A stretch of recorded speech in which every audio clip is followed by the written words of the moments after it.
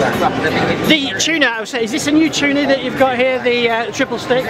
Triple stick is an updated tuner, so Yeah. it's an updated tuner from what was the old 290.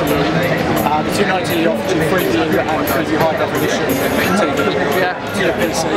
Uh, the 292, which is what we've got here today, you 3D, 3D high definition and also cable support as well. Right. So you've got DVB-C, T2. And DVD. Right.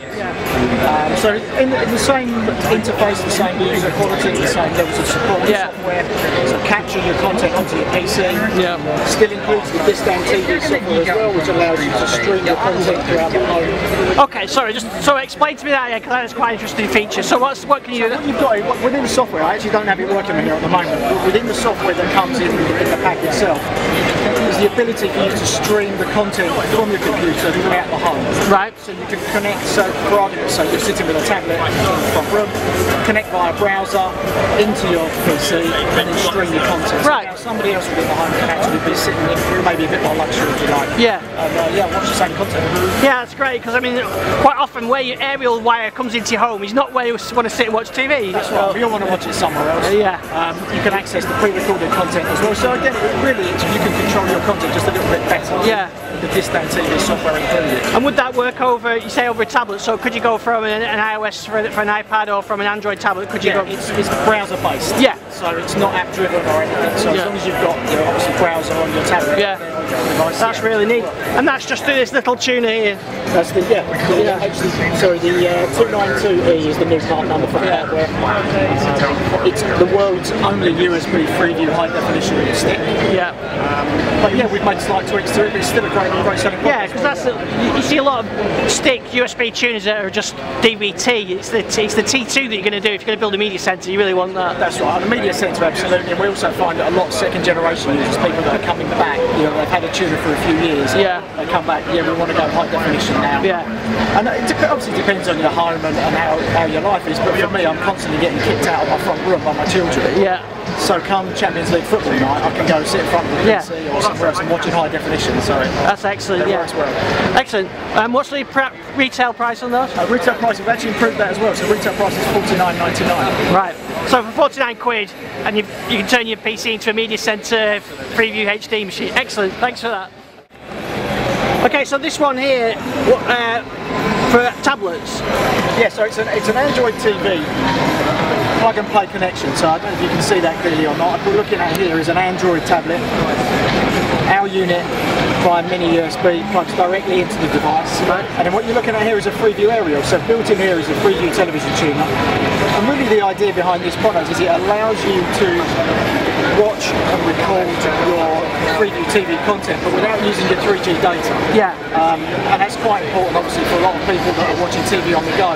One of the big concerns is how much data am I using? Yeah. This is a one-time purchase. and the show price is $39.99. Standard SRP is $49.99. But it's a one-time purchase to allow you to watch your Freeview content. Yeah.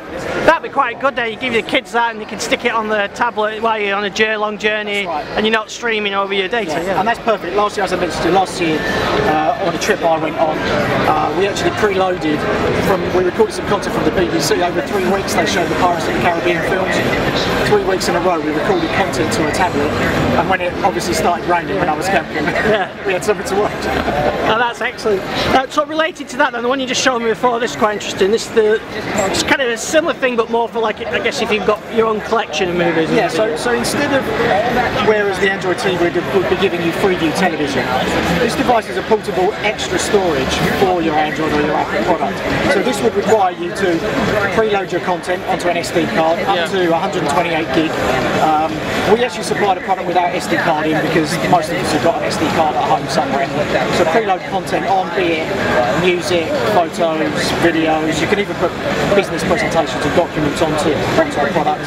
This has its own Wi-Fi connection, so you connect to that via your tablet or your mobile device, and then from there you can transfer data backwards and forwards, or play data, play um, music, whatever the content is from the SD card, you can play on your mobile device. Uh, five people can connect at the the same time, so you can have different people accessing different content at the same time.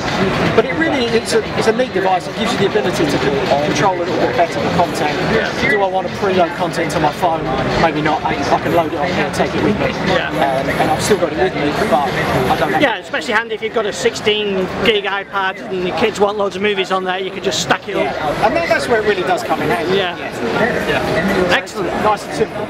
Dongle here. I'll, I'll give you my analogy because it's the best way to describe it. I bought a, docking station for an iPhone 4 way back, and then you know, a year later bought an iPhone 5. Lovely docking station, now pretty much no good to me. Yeah. It wasn't wireless, it wasn't Bluetooth. This little dongle here, I connect into the aux in or a docking station, makes it a wireless music player. So now that docking station that I really didn't have a lot of use for anymore, has become a Oh, I see, right, yeah. wireless unit. So now in my kitchen at home I can stand it with my iPhone, and my children can use their mobile devices, connect via Bluetooth and just play your content back. So this speaker now is playing content from my iPhone. Yeah. Uh, three or more people can connect to this device, so at a party or something you can have different people playing different music. NFC connectivity as well, so it's nice and simple to connect.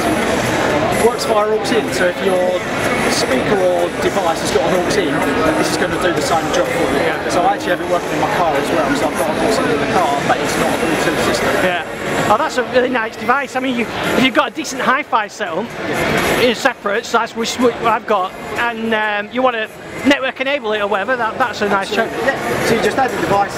I mean, it's, it's USB chargeable, battery Yeah. life is going to give you, I mean, for the unit I use in the car, it lasts over probably between 7 and 10 days. Mm. So it's a really strong battery life as well. But as you can see, this is now playing wireless content. That's really good. So what's the price of that? This one is twenty nine ninety nine. Yeah. Um, so really, it's a difficult tagline, but really it brings life back into some old. Yeah. You know, I think I had a quick look around my house. It's perfect for my little kitchen, but actually, four speakers in my house had an aux in, Yeah. which now could be Wi-Fi players. Yeah. That's excellent.